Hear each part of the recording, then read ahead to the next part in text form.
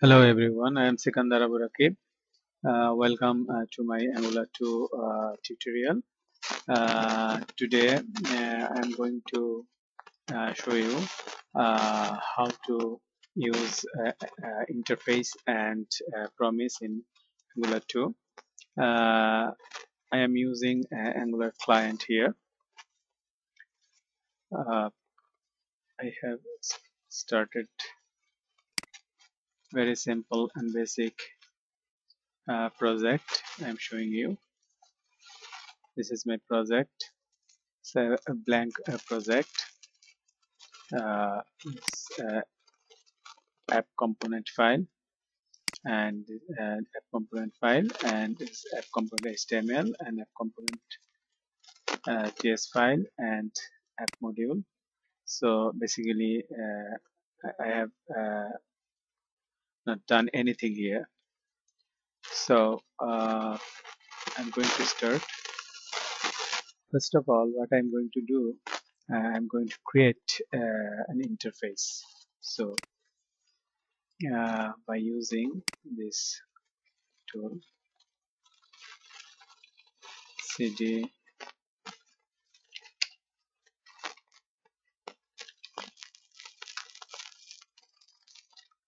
ng generate interface.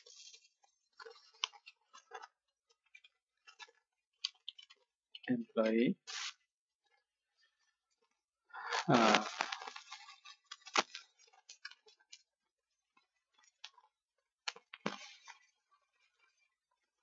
so this is the interface. I'm going to write name. String. And age number.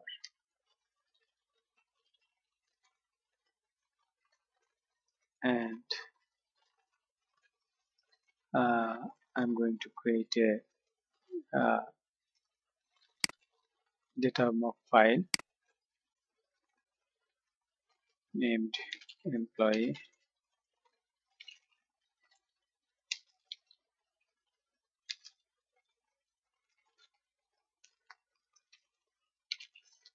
.ts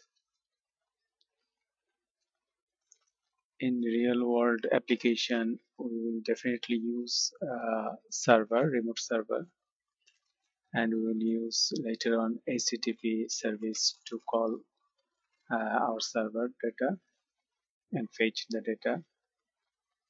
Uh, but at present I am showing uh, with the help of um, mock data. So first of all I am going to import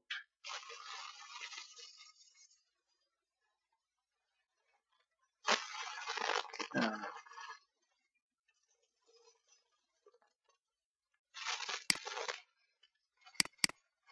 this file here.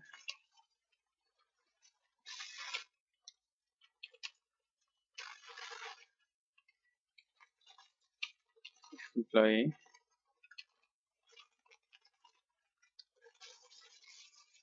And then export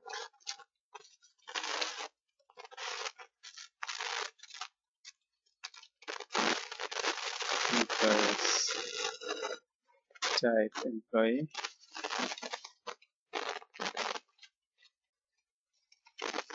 Array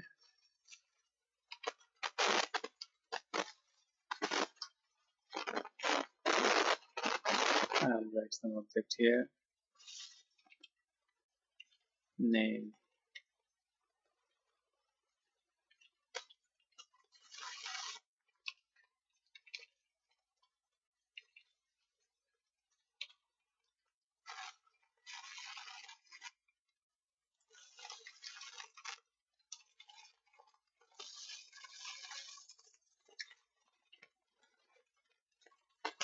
in one more. Object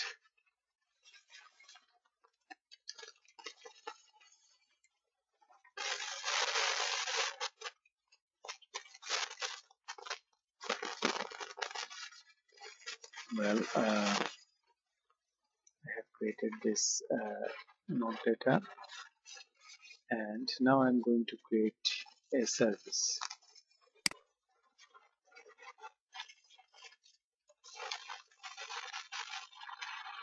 Indigenous service.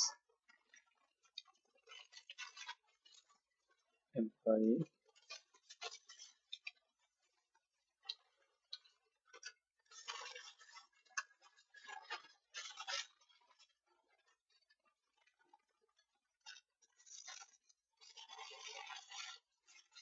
And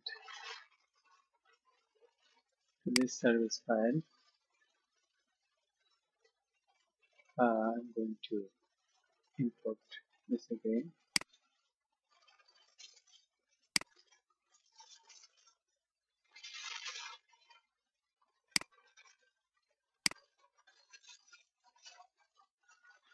And also this.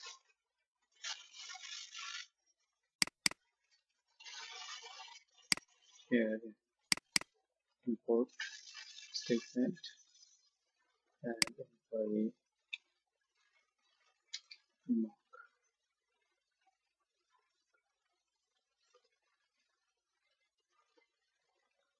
well in employee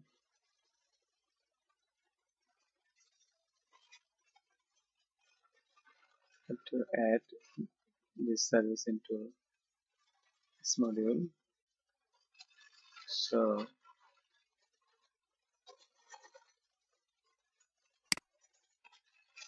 to import.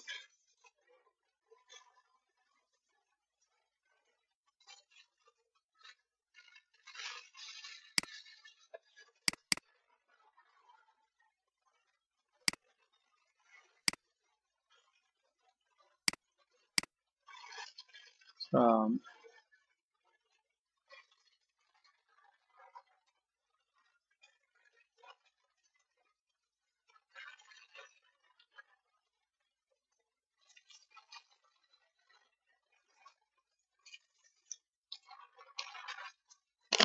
employee service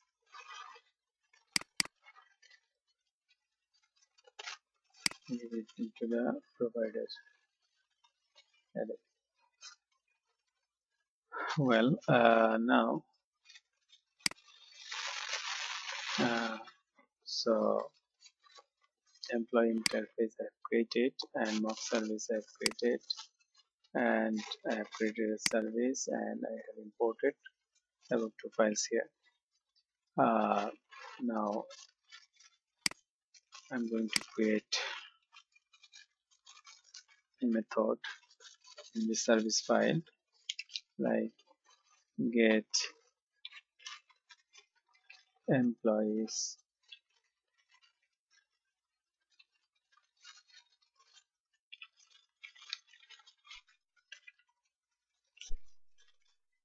employee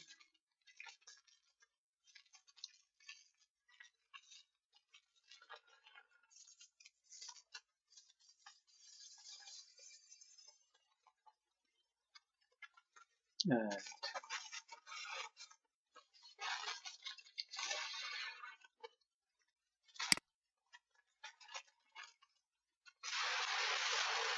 return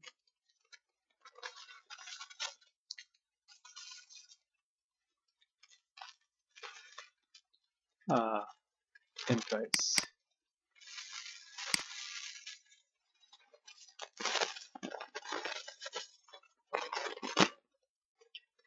so this method uh, will uh, retrieve the employee data from the mock employee mock uh, file and return it to the caller who will call the service uh, uh, get employee method uh, from the service.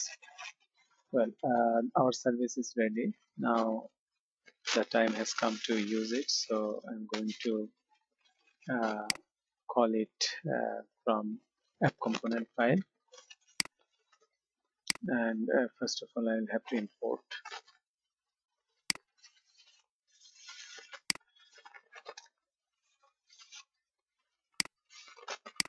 This one and also import the service.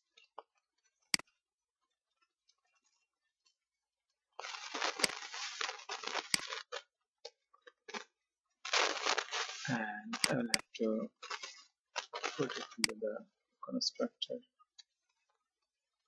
method.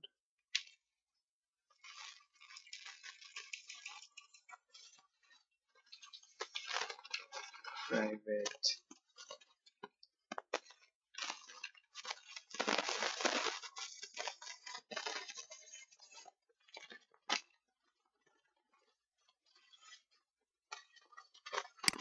service. And I'm going to call get employees.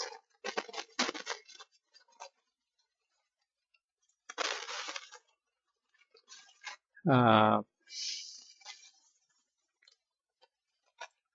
this m service dot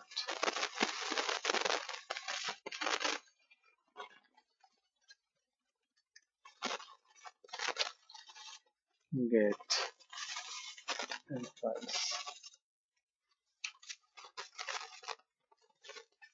and to create variable employees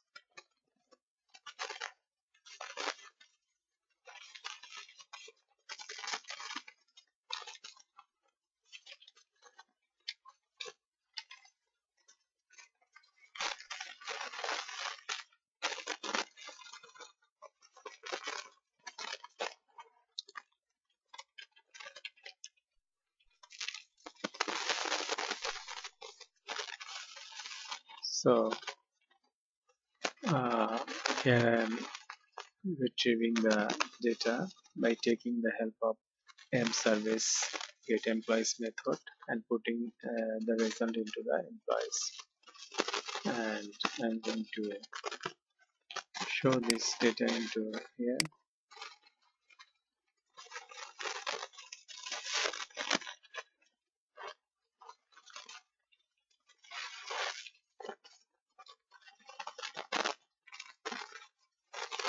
employees list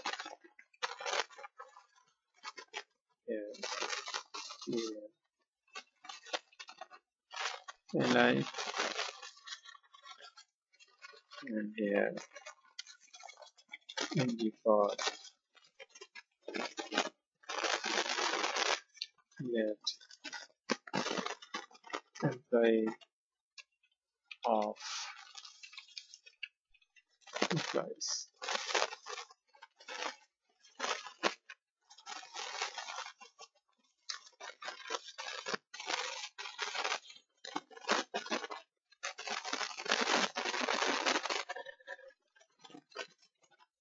employee dot name and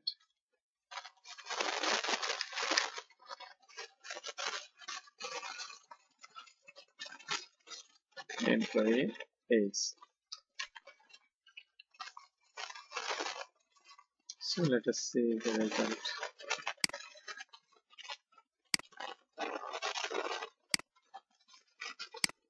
employee list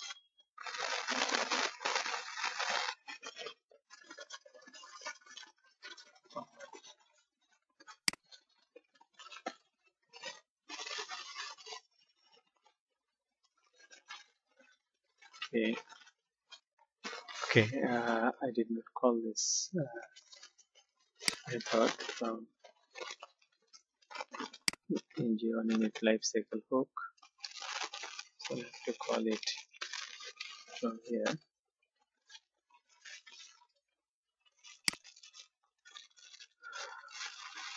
And it has come. So uh, we have uh, retrieved our data from uh, employee mock uh, data service so it is not a remote server so uh, here the things uh, that I want to notice here. Uh, the way we are retrieving the data is the signature of this method will be uh, asynchronous. That means uh, we are not handling our uh, service in a synchronized way. That means we'll have to uh, wait or uh, for getting data for this service and for that time we'll have to wait and uh, block our browser but in real world application we'll not do this thing. We'll uh, follow the asynchronous way of retrieving data. And for doing that we'll have to use some technique like promise. And uh, I'm going to show you how to use the promise. So in our uh, employee service here have to use promise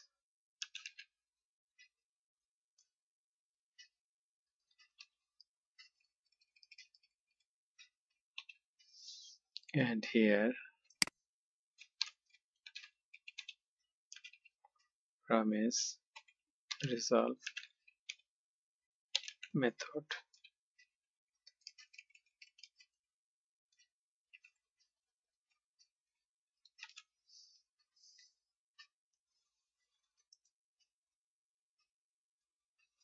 Yes and one more thing we'll have to do when we are using the promise here we'll have to use uh,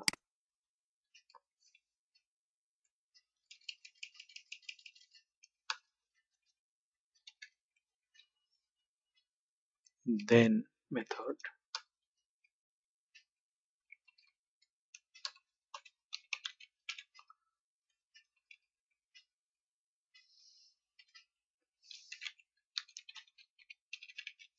employees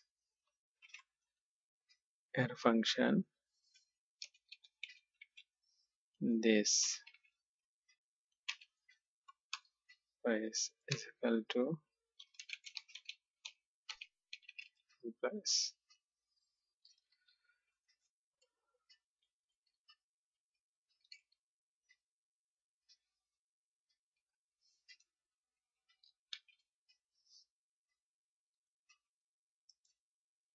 so again we, we are getting the data.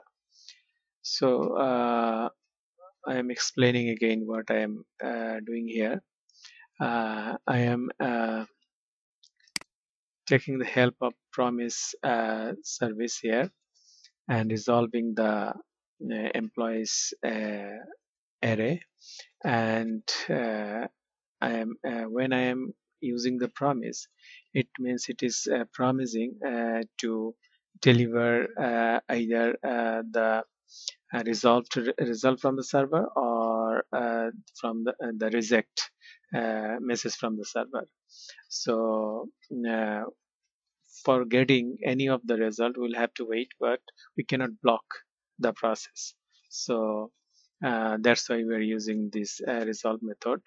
Uh, and by this way we can use the asynchronous method of handling the data. Uh, and uh, I think you have understood it. And if you have any question, please uh, leave it on the comment and um, take care of yourself.